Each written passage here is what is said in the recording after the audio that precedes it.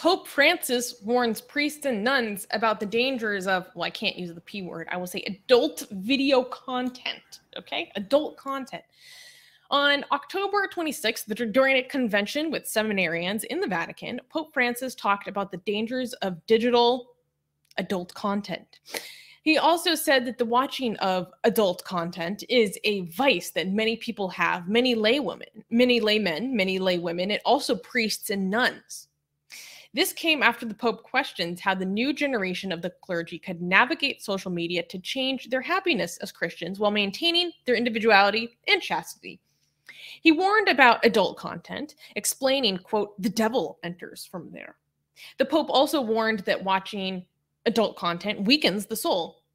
The pure heart, the one that receives Jesus every day, cannot receive this adult information, said Pope Francis. The devil gets in that way. And I'm not just talking about criminal content like that that involves the abuse of children. That is already done a great degeneration. But adult content that is a little quote unquote normal. adult content is seen as an offense against the chastity according to the church church teachings. Nuns and priests within the Catholic Church are mandated to live celibate lives. So, what do you think about the Pope admitting, talking about nuns and priests watching adult video content? I find it very exciting to think about nuns watching adult content. For some reason, I have developed a new kink as I was imagining it during the past few 30 seconds. I now have a new fetish, and that is nuns masturbating to adult content. Mm. Thank you, Susanna. Mm. You have introduced me to a kink that I didn't know I have. Mm. Yeah, fantasy. You're welcome.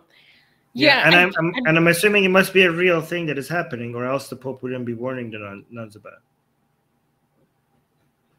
I would imagine so. I mean, yeah. Do you think they have like monitoring software on the Wi-Fi of different convents and dioceses, so they like monitor when someone's gonna go, like watch hentai or something? They're like, oh, um, we caught you red-handed. I see what's going through these IP addresses. I I don't know, but I imagine whoever is in charge of monitoring other priests or nun is going to eventually give in to what they're seeing themselves and be consumed by it as well.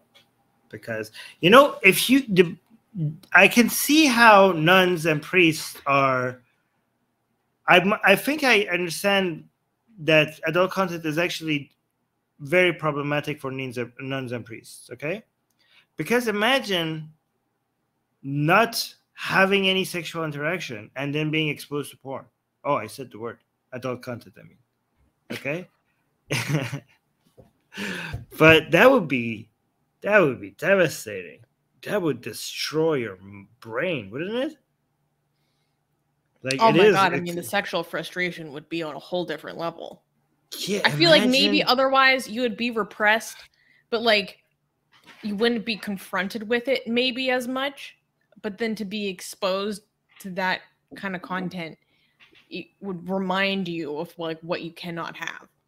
Yeah. So that made me imagine. Worse imagine the sexual frustration of celibacy and then you add adult content on top of that that is a hell right there that is yo. that is yeah yo. yeah. That's crazy. It must have been very difficult. It must be very difficult to keep nuns and priests in the age in such an age that you could just see what you're missing out on. Mm. i think he's i think he's right to see it as a danger. Yeah. By the way, well, I mean, um, when when yeah. Uh, the other argument is maybe it is better that they watch it and consume it so that they can at least, no pun intended, discharge that energy in some way. yeah, yeah. Actually, you're right. Yeah, I don't know. I don't know how. I don't know. Um, people are saying, Armin, do you watch the nun-category? Um, I will now.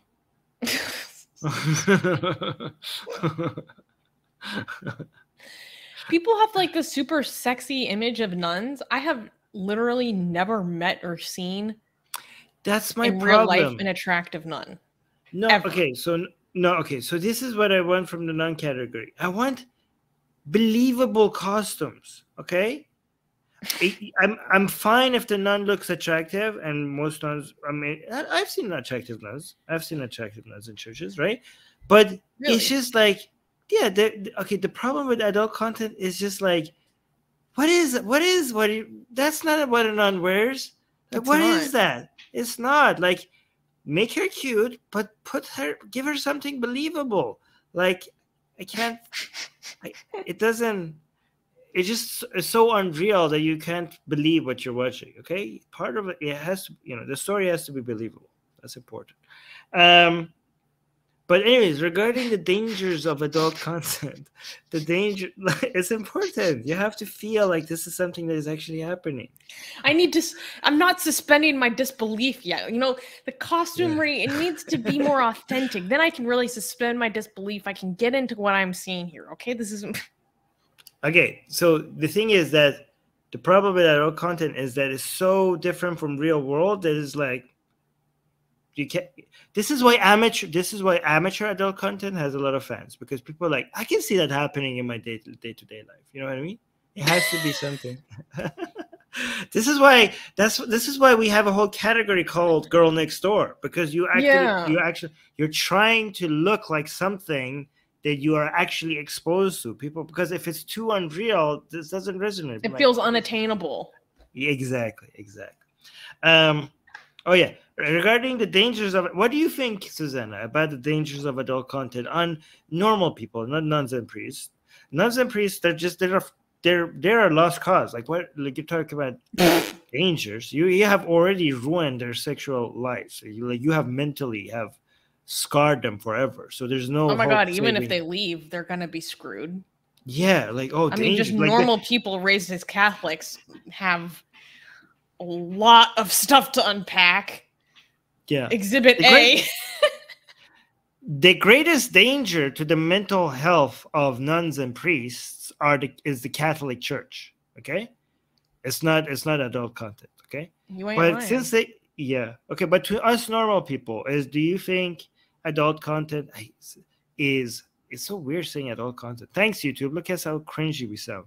Um, do you think that adult content is harmful to? I think it definitely can be. I think it's Can. it can it can it's it's addictive, and I think it Okay. it can definitely be very harmful.